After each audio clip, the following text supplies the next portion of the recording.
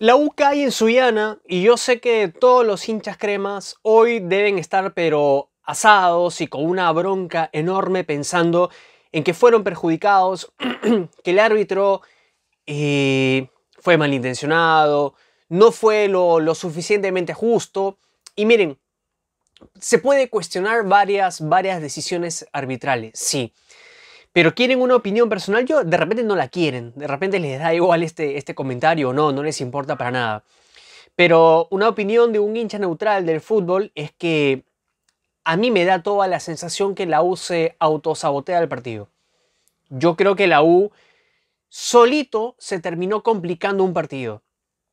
Porque, a ver, pensemos, la expulsión de Cabanillas viene expulsado el sarcasmo, el salir a aplaudir, yo en ese momento, cuando el árbitro va directamente con la roja, yo dije, bueno, bueno, al menos, creo que con una María era suficiente.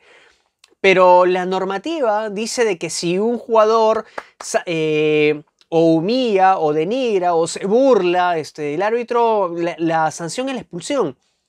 O sea, me parece tonta o absurda la, la reacción o el gesto de Cabanillas. Bien expulsado. Dos, lo de Corso. O sea, Corso va directamente con el puño y lo conecta al jugador de, de, Suyana. ¿Para qué? De repente no, no le habrá metido el, puñete tipo, este, tipo Paulo Núñez a, Copriva eh, en, Matute, pero va y lo toca. ¿Para qué? Claro, también otros podrían decir, pero el jugador, eh, el jugador de Suyana también va y le intenta responder y pudo haber sido una, este, también roja lo que solamente terminó siendo María. Pero yendo netamente a lo, de Corso, está bien expulsado. Y lo de Ureña, a Ureña también, se le termina saliendo a la cadena, va directamente con la plancha. Entonces, las tres expulsiones de la U son bien expulsados este, los tres. Y si por ahí quisieran pensar, oye, pero Wanda, eh, eh, no fue lo mismo para el caso de Suyana, ojo que cuando el árbitro en la expulsión del jugador de Suyana el, chico primero va y la, sanción del árbitro es sacarle la amarilla, pero escucha eh, la, sugerencia o, la, postura del cuarto o quien le haya llamado, corrige automáticamente y lo expulsa. Entonces, hasta ahí uno no podría pensar de que a la uno querían perjudicar, todo lo contrario. Ahora, de que quizás el árbitro manejó mal el partido, puede ser, porque en el segundo gol de, de hay una entrada fuerte también, no sé si es contra, contra Bolívar, y que tranquilamente también pudo haber sido sancionado como falta. Pero a mí me da netamente la impresión de que la U pierde la cabeza en su llana. Yo creo que termina con algo que, que al equipo crema, al menos aquí en este canal no me van a dejar mentir, siempre he destacado, es que tienen una garra y un coraje eh, que hace que los partidos se jueguen al límite. Y sí, está bien pero a mí me da la impresión que confundieron la garra con imprudencia. Porque la, esa, la actitud de Ureña, la actitud de Corso, es como que no, vamos a ir para adelante, no va a pasar nada. Y no, fueron bien sancionados. Y, las tres expulsiones estuvieron bien. Miren, si no hubiera sido por ya por la última expulsión incluso Ureña, yo creo que la U hasta lo pudo haber empatado, ¿saben? Y hubiera sido un, punto importante. Un punto importante. En el horno de Piura, con una cancha que es un desastre, creo que la U, incluso hasta con dos menos, pudo haber hecho algo más. Lo pudo, pudo haber encontrado el empate.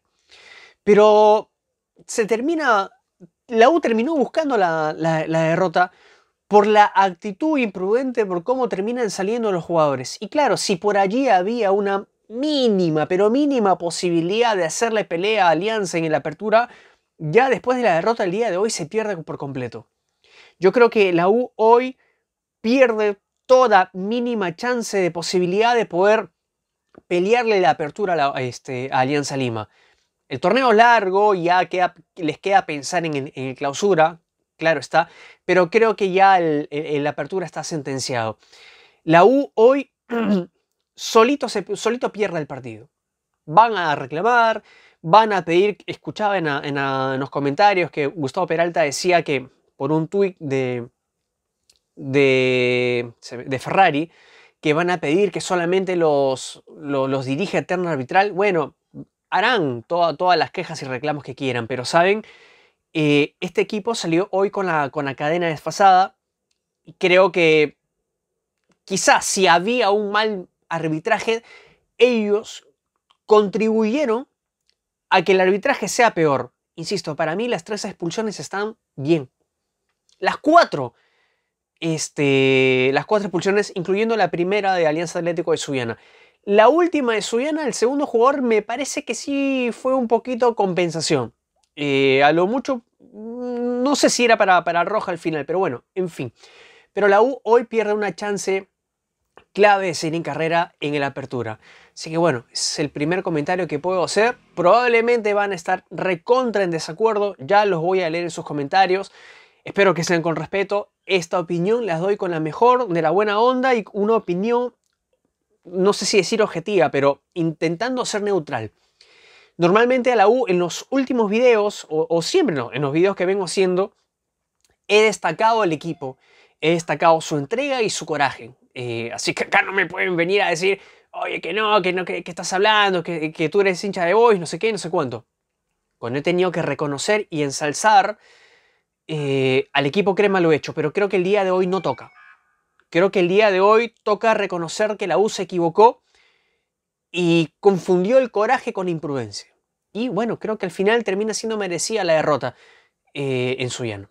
Han sido ustedes muy amables, que les vaya bien y nos vemos en la próxima. Chao, chao.